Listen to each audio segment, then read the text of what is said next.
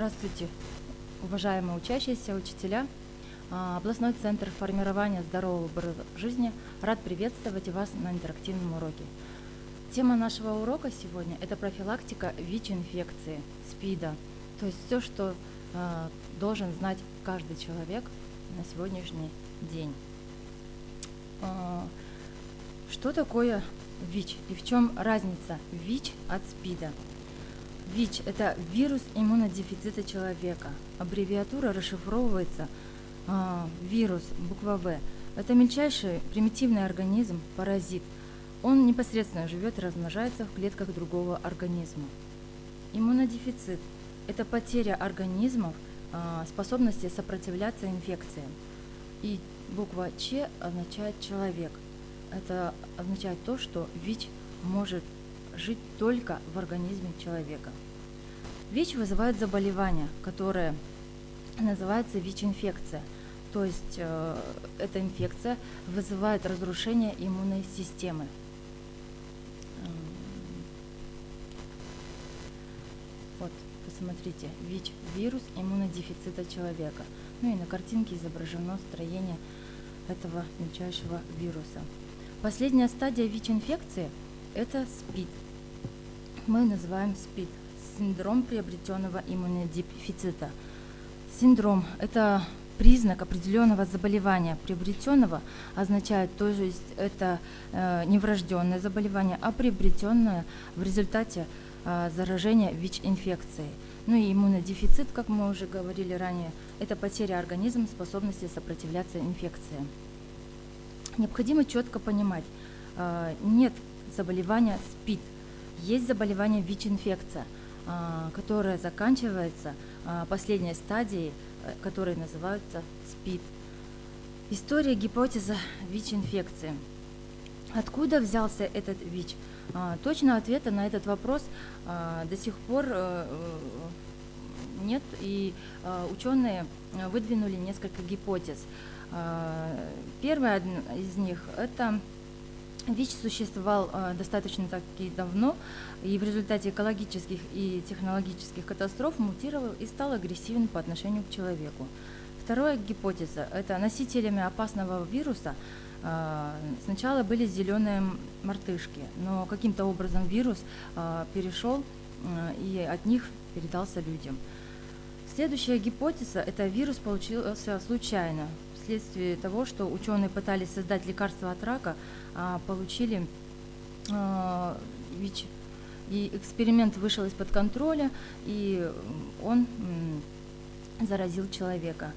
А, по другой версии, ВИЧ – это биологическое оружие времен Холодной войны, и его специально изобрели а, в секретных лабораториях.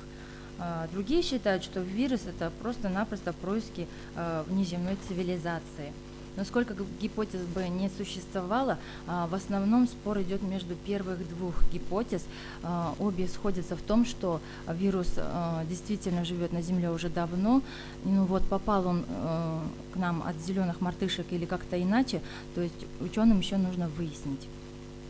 Теперь об истории развития ВИЧ-инфекции. В 1978 году несколько пациентов Швеции и США обращаются к врачам с симптомами болезни, которые в будущем назовут ВИЧ-инфекцией.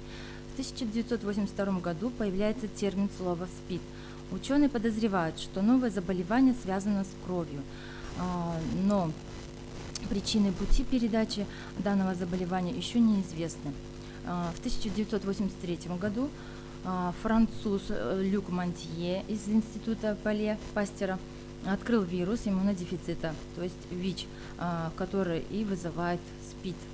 В 1985 году ученым удается выяснить, вирус передается через кровь, сперму и вагинальный секрет и материнское молоко. А, появились первые тесты на ВИЧ. В 1991 году профессиональный баскетболист Мэйджик Джонсон одним из первых признался «Я ВИЧ-инфицирован». От СПИДа умирает и культовый музыкант Фредди Меркьюри, лидер группы Queen. 1 декабря в 1988 году а, был объявлен первый Всемирный день борьбы со СПИД. А, в этом году, в 2018, а, отмечается 30-я годовщина Всемирного дня борьбы со СПИДом – И темой этого года стал, стал «Знай свой статус». По данным Всемирной организации здравоохранения, на сегодняшний день в мире общее число людей, живущих с ВИЧ-инфекцией, превысило 35 миллионов человек. Самым неблагополучным регионом остаются государства Африки. И на данный период данный регион, на данный регион приходится до 70% всех случаев ВИЧ-инфекции. В Казахстане же на 1 октября 2018 года зарегистрировано более 34 тысяч случаев ВИЧ-инфекции. В нашей области общее количество зарегистрированных ВИЧ-инфицированных на 1 ноября 2018 года составило 3881 человек. По оценкам ЮНЕЙДС, более 9 миллионов человек, живущих с ВИЧ, по-прежнему не знают своего статуса. Сегодня уже ясно, ВИЧ-инфекция не выбирает по полу, социальному положению, национальному или э, сексуальному признаку. Данная болезнь есть, и с ней нужно научиться жить. Э, общие сведения теперь хотелось бы рассказать о ВИЧ что представляет собой этот вирус и как он внедряется в организм человека и каким образом разрушают нашу иммунную систему. Иммунная система человека, если представить, это армия клеток, которые, состоит, э, которые стоят на страже нашего организма. Они отражают атаки бактерий, паразитов и различных вирусов, нашего, э, подвергающих на наш организм. Э, в этой армии есть несколько подразделений – Первая группа клеток – это Т-лимфоциты, так называемый командный пункт иммунной системы. Мы их еще называем по-другому клетки-помощники. Они первые обнаруживают вирусы и другие бактерии и передают приказ а, остальным клеткам, клеткам-защитникам атаковать. Б-клетки – это так называемая служба внутренней безопасности. В ответ на приказ Т-лимфоцитов они начинают э, метить чужеродные микроорганизмы и специальным белком, то есть антителами. Э, отмеченные вирусы э, начинают подвергаться действию других клеток, клеток убийц, Т-хелперы. Это своего, своего рода спецназ этой иммунной системы. Они напрямую уничтожают эти болезнетворные организмы из внешней среды. Вся проблема в том, что именно Т-лимфоциты, то есть те клетки, которые распознают Данные вирусы являются главной мишенью ВИЧ-вируса. А, захваченные клетки не могут э, отдавать приказы защитным подразделениям, иммунная система ослабевает, организм становится уязвимым для возбудителей любых инфекций, и большинство из которых э, при нормальной работе Т-лимфоцитов были бы для организма человека не опасными. Но теперь ничто не мешает развитию болезни. А, развиваются такие, как воспаление легких, рак кожи, грибковые заболевания. Через несколько лет это приведет к последней стадии ВИЧ-инфекции СПИД. У болезни есть э, несколько стадий. Первые, на первой стадии вирус проникает в человека, и пока иммунная система на первых э, порах начинает активно сопротивляться, э, ВИЧ быстро размножается, поражая клетки иммунной системы. На второй стадии иммунная система активно борется с ВИЧ, организм успевает даже восполнять потери а, при первой которой стадии подверглись атаке, но работа, работа этих клеток уже на пределе. На третьей стадии самочувствие у человека все еще нормальное, но начинаются сбои. Иммунная система уже не может производить достаточное число клеток защитников, и их становится все меньше. Все эти три стадии могут длиться по времени, получается, от 5 до 12 лет. И когда защитников достигается критическое низкое число, а, то у человека развивается СПИД. Характерные, а, конечно же, признаки наступает истощение, а, длительное время держится лихорадка, выраженная интоксикация, больной все время проводит уже в кровати, развивается слабоумие, то есть э, подвержена весь, э, все системы, все органы э, человека данному заболеванию. Содержание лимфоцитов достигает критических величин, и болезнь прогрессирует, и больной впоследствии погибает. Пути передачи ВИЧ хорошо изучены наукой. Во-первых, вирус может попасть человеку при контакте кровь-кровь. Это происходит, когда используют нестерильные медицинские инструменты, такие как скальпели, шприцы, медицинские, э, так, э, переливают непроверенную кровь, но данный случай уже достаточно э, редкий, э, так как кровь тщательно проверяют уже в пунктах переливания.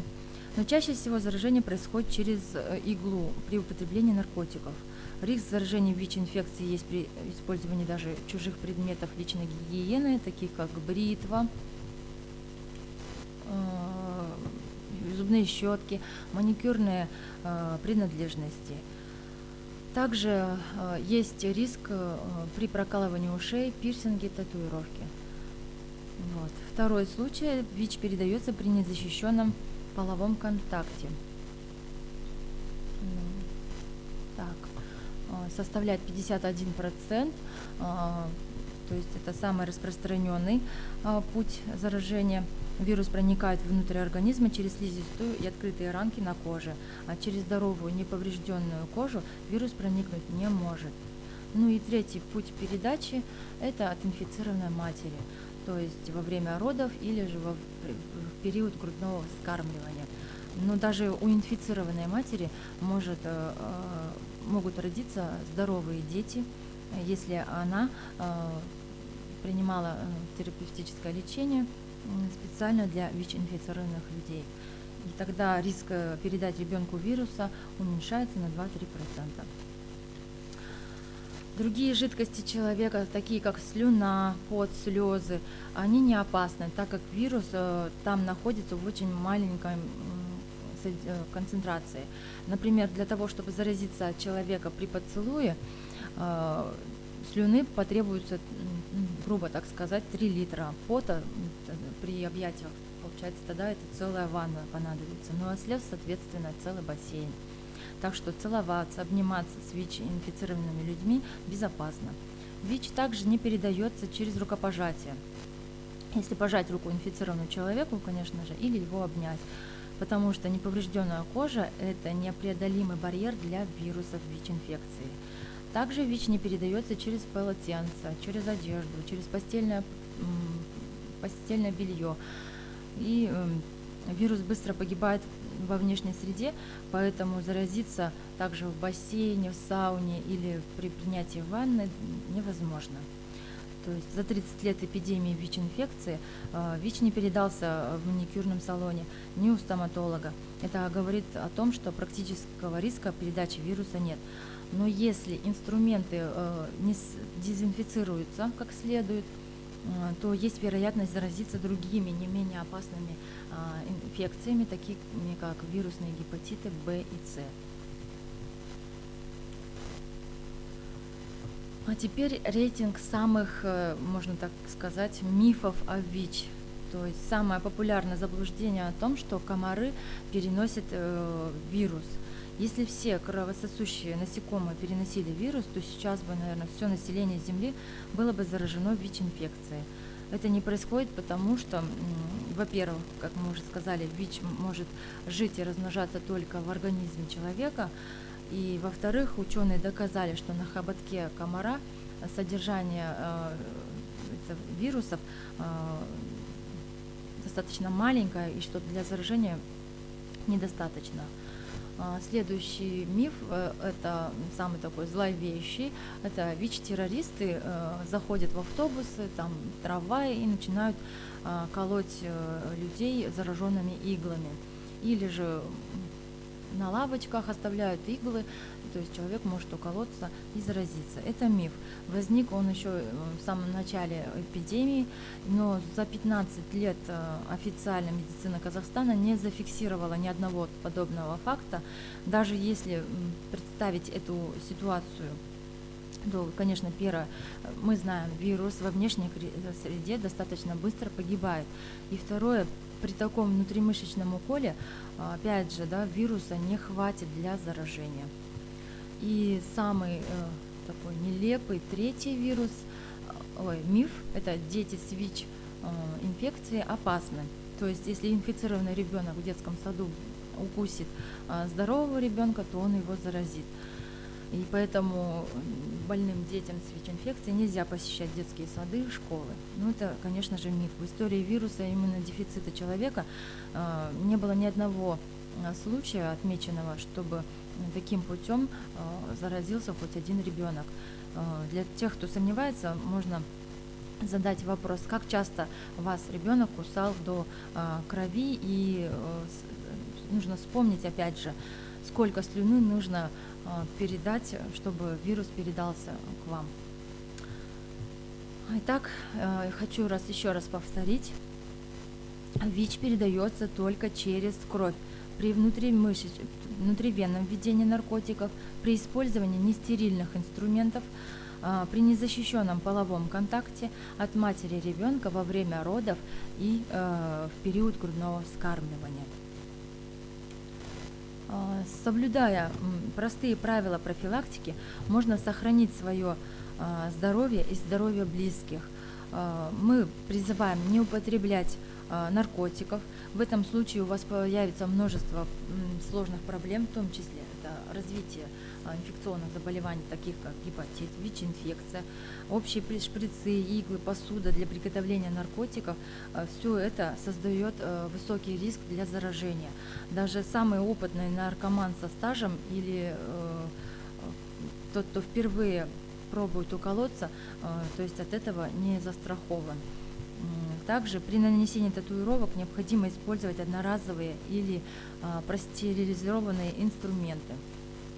Э, также не употреблять алкоголь, э, другие психоактивные вещества, э, какие-то таблетки, так как они сами по себе не приводят к заражению, но под их действием контроль у человека теряется и риск заражения половым путем уже возрастает.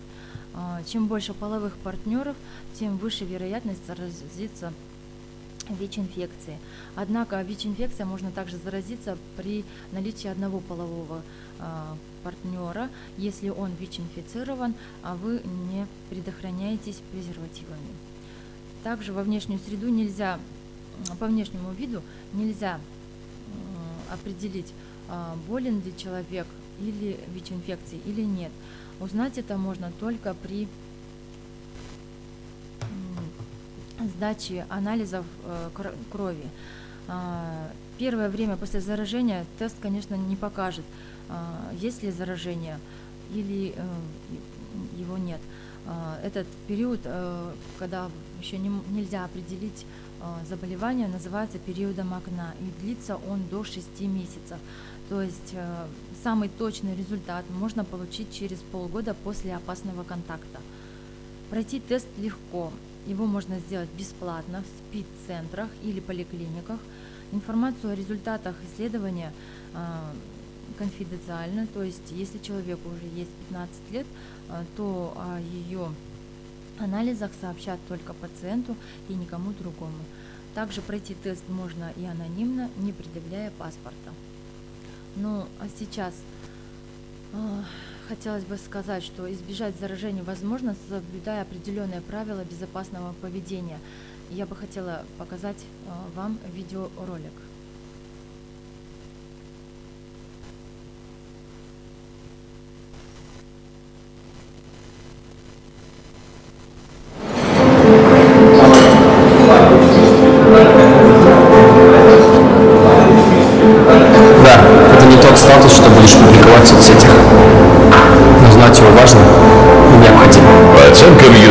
Более 9 миллионов человек, живущих с ВИЧ, не знают своего статуса. И чаще всего ВИЧ передается через незащищенные половые связи.